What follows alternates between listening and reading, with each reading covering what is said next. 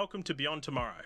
This is where we talk about all things sustainability from around the world, including sustainable products, sustainable processes, new projects and technologies that are being developed, and products that are on the market that you and I can buy.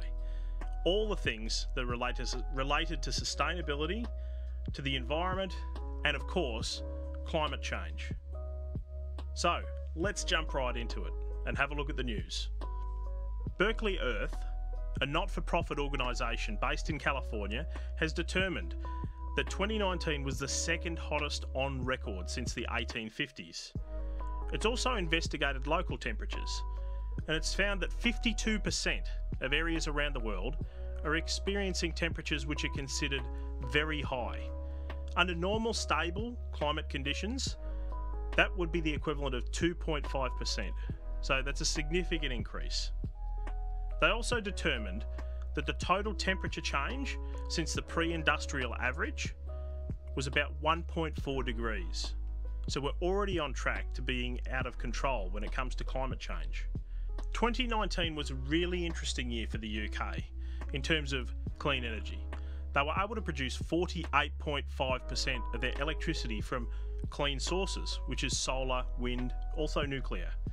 I know it's controversial to include nuclear in there, but it is a technology that doesn't emit carbon dioxide. 43% of their electricity was sourced from fossil fuels, including oil and gas and coal, and the balance was made up with uh, what seems to be an increasingly controversial topic of bio, biomass and biomatter, which is essentially burning wood chips from trees.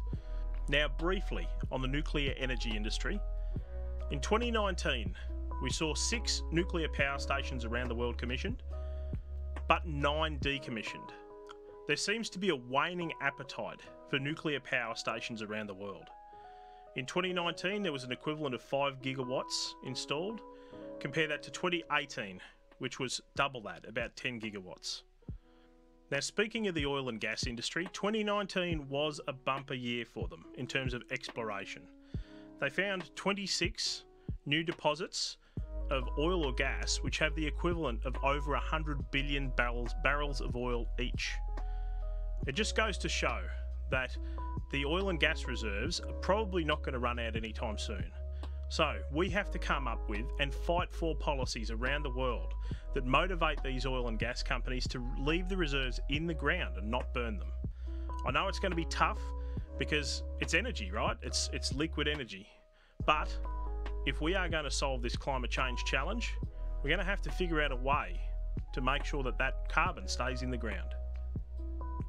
In an interesting turn of events, the British royal family has waded into the deep end when it comes to the climate change debate. They unveiled the Earthshot Prize. Prince William announced that there'll be a number of challenges set up over the coming months and years to solve things like energy, climate change, ecosystems, biodiversity, and a number of other aspects of sustainability around the world. Keele University in the UK has launched a really interesting project called HyDeploy. The aim is to inject hydrogen directly into the natural gas supply around the university to test out compatibility of a blended hydrogen and natural gas fuel used for heating buildings and hot water. If successful, this would have a significant impact on the safety and also the ability to roll out hydrogen as a fuel around the world. Remembering that burning hydrogen only produces water. If successful and rolled out across the UK, the university has estimated that it would take about 6 megatons of carbon dioxide out of the atmosphere every year. That's the equivalent of 2.5 million cars off the road. A significant impact. A slight change of tact the University of New South Wales in Australia has discovered a new way of extracting a nanocellulose from banana plants. That means after the bananas are harvested, which only account for about 12% of the total mass of the plant, you can take the rest of the banana plant, convert it into nanocellulose, and turn it into plastics, bioplastics, that are much better for the environment than plastics produced through petrochemicals. So, thanks for joining me today. I hope you've enjoyed the brief update on sustainable technology and developments from around the world. If you've enjoyed the video, please hit the thumbs up icon just below.